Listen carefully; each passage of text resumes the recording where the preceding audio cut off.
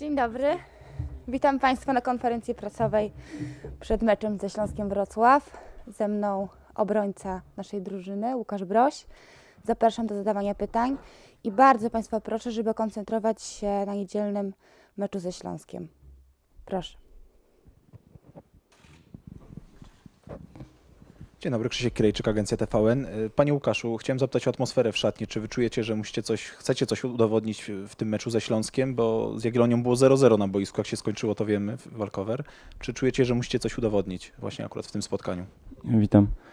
No nie, no na pewno do każdego meczu podchodzimy tak samo tak naprawdę, żeby, żeby je wygrać i trzeba być maksymalnie skoncentrowanym po tej całej aferze tak naprawdę. Nie zostaje na nic innego jak zagrać dobre spotkanie i wygrać. Kolejne pytanie?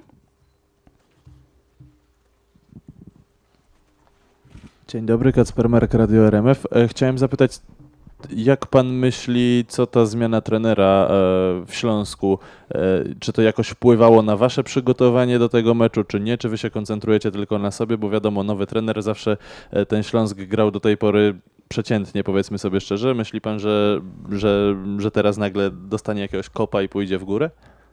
No nie wiem, ciężko mi się opowiadać na ten temat tak naprawdę. No, sam z, z perspektywy czasu wiem, jak zmienia, zmienia się trenera drużynie, to wiadomo, jest to jakaś motywacja dla zespołu i wiadomo, każdy chce się pokazać przed nowym trenerem. No ale my do tego meczu podchodzimy, no tak jak mówię, do każdego innego i po prostu chcemy się jak najlepiej przygotować i być bardzo skoncentrowani na tym spotkaniu, bo nie będzie na pewno łatwe spotkanie. Pytania? Marcin Szymczyk, Ganet. Łukasz, to w takim razie zapytam, e, czegoś obawiacie się ze strony Śląska, czy, czy bardziej zespołu, czy może jakiejś indywidualności, na kogo musicie zwrócić szczególną uwagę, czy rozmawialiście już o tym w szatni?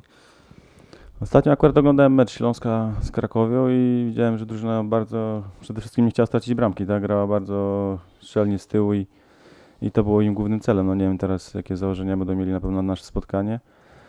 No ale na pewno mają, mają, mają siłę w ataku, tak? Mają, mają Marco Pajszao, mają szybkie boki. To na pewno będzie mi się wydaje ich główny atut. No a co mecz pokaże, to tak naprawdę zobaczymy.